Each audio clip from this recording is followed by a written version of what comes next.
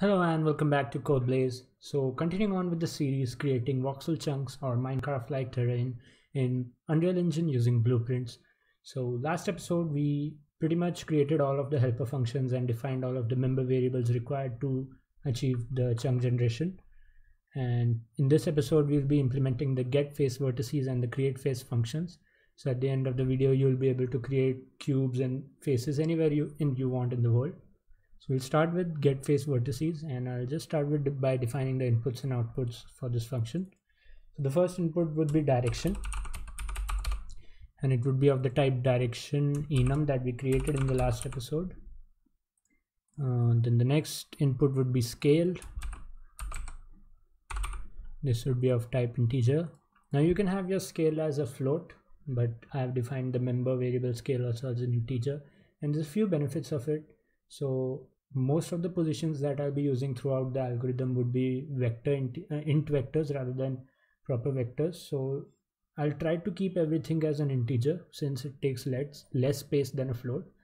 Now a float versus integer like the space consumption won't be a big deal in most of the cases but here in case of voxel terrains the amount of iterations that will happen to generate the that mesh data is going to be significant enough to make that data consumption uh, uh, point of concern. So it's up to you like do you want if you don't need to have like float scales or float positions you can go for having them as integers since the block data that i have provided will create uh, cubes at uh, integral position so the coordinates of the cubes will be always integers.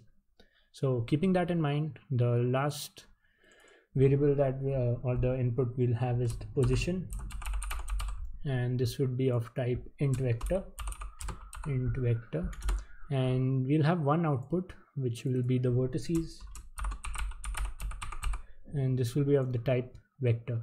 Now we can't have these as integers because the uh, procedural mesh component requires uh, the vertex data as a vector array. So again we need to this to be an vector array. And we'll define one local variable called data. This can be type of a vector array. And we'll basically get this and this is what we'll return. So all we need to do in this function is now to populate this data array. To do that we'll break this execution pin and do a for loop. And we want this loop to run uh, four times for the four vertex positions of a face so we'll put the last index as three. In unreal engine the for loops runs inclusive of the last index. So this 0 to 3 means the for loop will run four times. And once the loop is completed we'll basically return. Now in each iteration of the loop there's a few things that we need to do. First we need to come up with the you know the vertex positions. So to do that first thing we'll do is convert the direction to an integer to int. So this will just give the integer value of the enum. And why we need to do this is for that I'll just open up my notepad so what we have here is this uh, two-dimensional triangles array which has six one-dimensional arrays. Now each of this one-dimensional array represents uh, one of the face of the cube which is one of the direction. So according to the direction value we'll select one of these one-dimensional arrays and depending upon the iteration of the for loop like the index of the for loop we'll select one of the numbers inside these one-dimensional array. So suppose uh, suppose this third one dimensional array stands for the direction up and we are on the third iteration of the for loop. The number we'll get is 6 now we'll use this number to query the vertices array and we'll take the sixth vertex position which is this one. And this is what we'll add it to the data array which is the local variable and we'll return this to the uh, which will be finally added to the vertex data so the for loop iteration will give four numbers and that way we'll select four vertex positions and we'll be able to create our face. Now the only slight difference is the triangles array in our blueprints is a one dimensional array. So I don't know either we are using the row major or the column major order if you want to get technical but the only thing we need to do is multiply this by 4 because that is the width of our one dimensional arrays. So we'll do this multiplication by 4 next we'll add the index. Okay. Now the number that we get out of here is the one that we'll query the triangle data with. So we'll get this. I'll drag a pin called get copy. And yeah.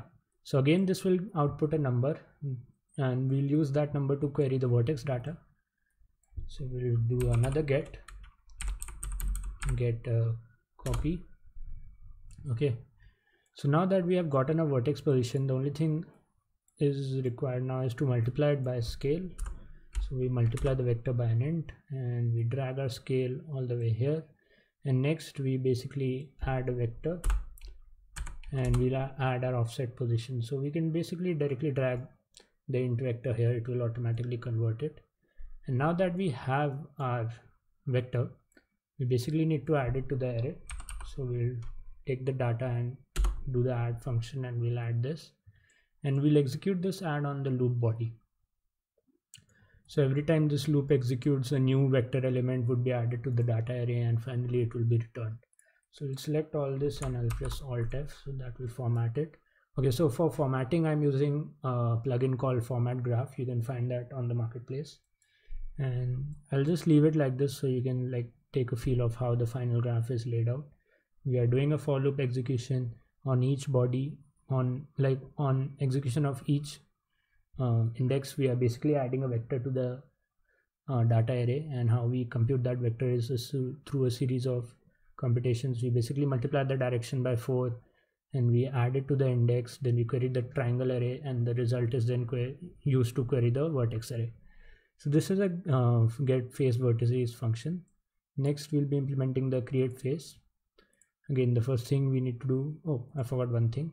Since this uh, get face vertices isn't modifying any of the you know member variables no i'm talking about the variables not the local variables we can mark it as a pure function so we'll compile this and save it.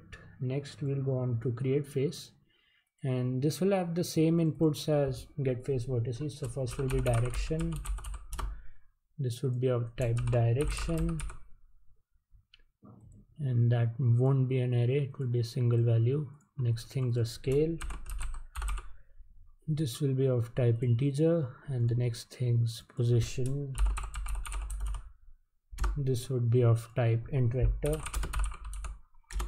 Okay. So the first thing we'll do is call this function only the get face vertices. Pass in the direction pass in the scale we pass in the position. And then we'll get a mesh vertex data. And we'll basically append an array to this. We'll call append array and do the execution so create face would be a void function. It's not going to return anything but it will modify the member variable so it won't be a pure function. And with this we have our vertex data ready.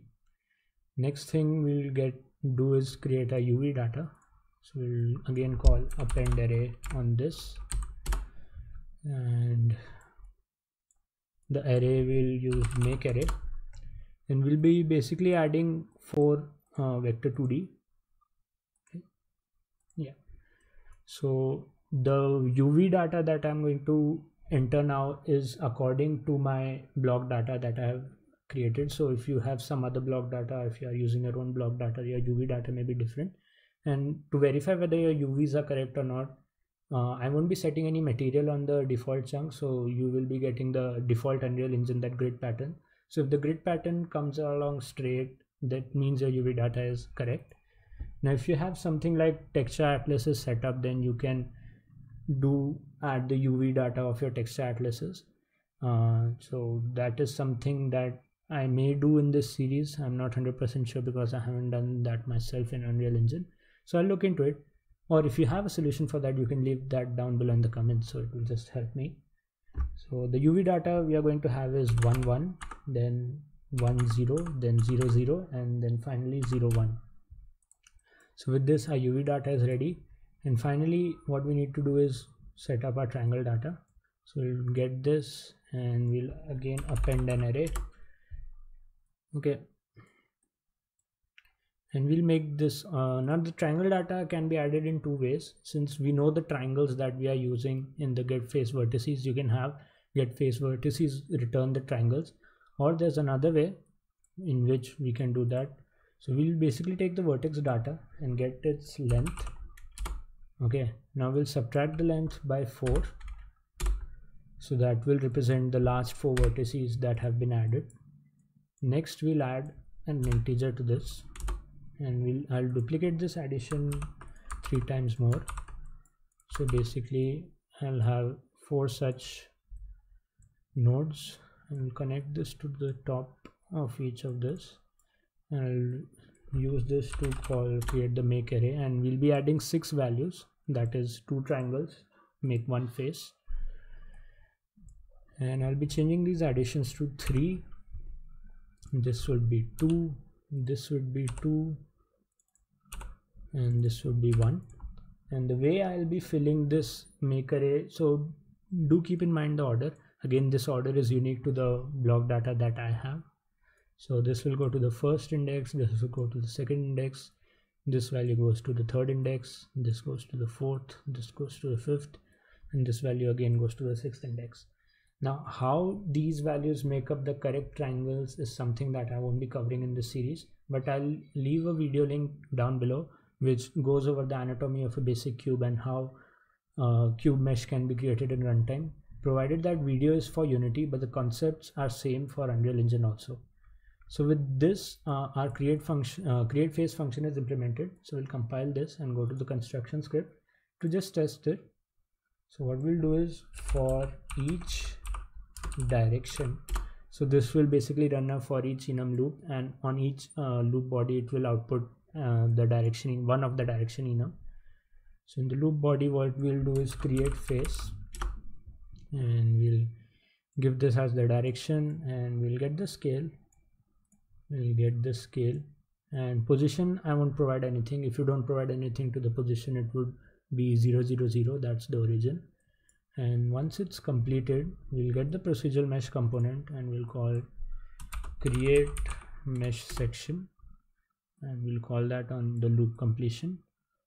Next all we need to do is uh, pass in the vertex data the triangle data and the uv data to the corresponding nodes and that's it. With this if we compile and go to the viewport you'll see uh, we have created a cube.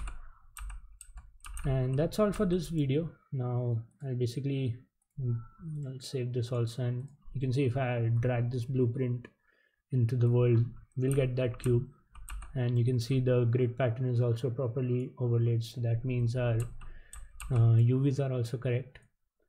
And depending upon the position the cube moves. And with that we have all the basic setup done for our chunk generation in the next episode, we'll be going over generating the noise map using the fast noise plugin. And if you like the series, do leave a like and share it with your friends. It really helps the channel grow. And if you have any other suggestions or if you have some suggestions to actually optimize this process, you can leave them down below in the comments and do subscribe for the next and upcoming videos. Thank you.